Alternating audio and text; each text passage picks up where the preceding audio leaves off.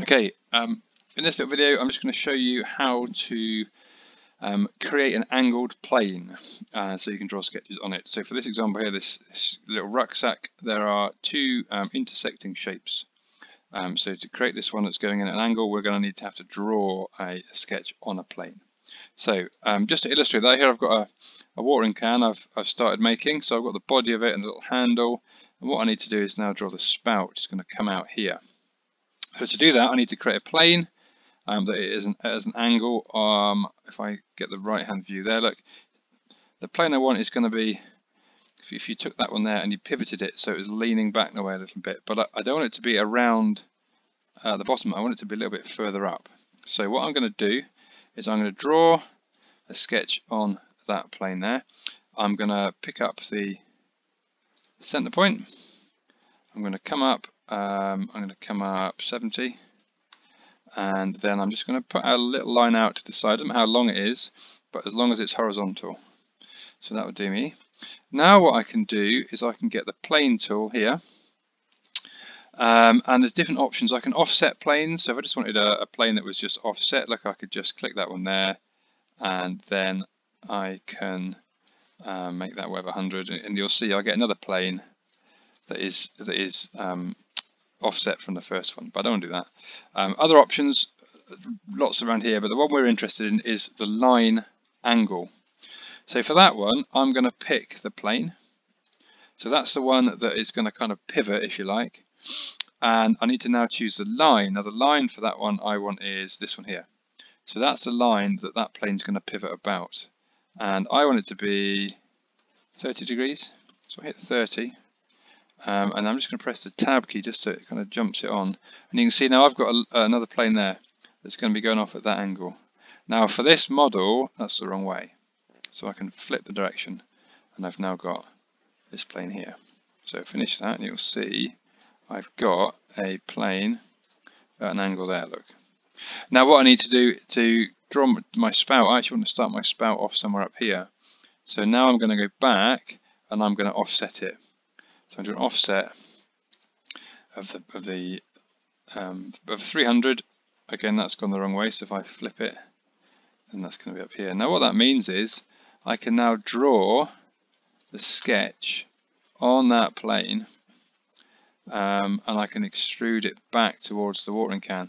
So I just want a little circle here. I'm gonna I'm gonna try and pick up this center point here of the um, the, the, the, sketch. That little point there is going to be the very middle of my sketch. I wanted to join it there.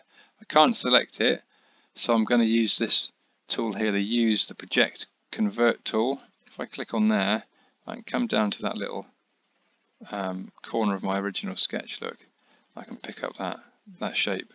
So now if I draw my circle on there, um, I'm going to make it 20 and I'll maybe make it a little hollow actually just for fun. 18.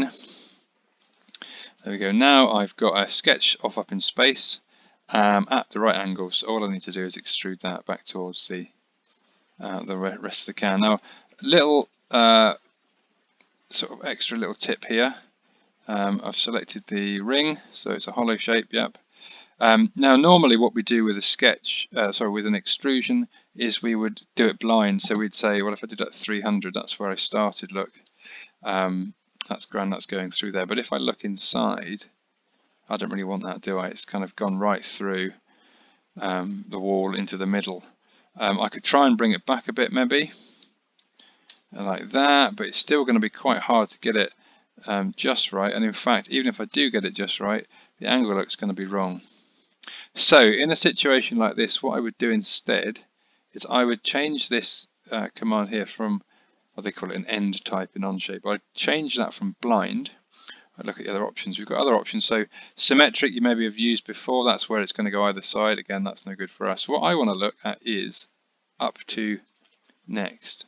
And what that's going to do is it's going to fire that extrusion in that direction until it comes to the next object. Okay, in this case it's a curved object. So when we look at it, it's actually stopped dead on the outside of that can. So there we have uh, the watering can with the spout. It's probably a little bit high for a real watering can, but um, never mind. so we've put a, a, plane on. We put the little uh, angled plane using the sketch. We've uh, offset a plane, and then we've used the extrude to next to get that. Um, once you've done that, you'll probably need to do a drawing. So just one little thought in here. If I just update my my drawing here, um, the the dimensions that you had or would be given would include that little point here where our our um, spout extrusion is going to start at. But how on earth am I going to uh, dimension that? I, I, I don't know where it is. So what we need to do on this one is if we add a couple of center lines, so this is a cylinder, so it's going to have a center line as a center mark there on the top one, that cross going through the middle of that uh, cylinder. So if I put one on here, look, now in Onshape an edge to edge center line, what that, that does is it takes uh, an edge here and an edge here, and it's going to put the line in the middle. Once you've done that, um, we can do the same on here, look, and on here, and that's given me one there as well. Now, what Onshape allows you to do is to drag these to different positions, because obviously that's all round. And here, I can actually bring that right down until it intersects. You see there's a little cross appeared um, when I've got near to that. What That's just going to lock it uh, into place, so it's right on that on that spot. And what that means is that I can now put a dimension um, to that point, so I can I can say that um, that center of this spout starts 70 mil up from the the base of the can. All your other sizes, of course, you can put on again your your angles and your heights and, and everything else. Um, I could also do a um, a dimension of, of how long the spout is. If I wanted to go from here to here, I'd need to pick up that, that line, look, and it gives me that 300. So, angle planes, and also then how you would add dimensions on a drawing um, to show how those angle planes are, um, are positioned. Okay, hope that helps.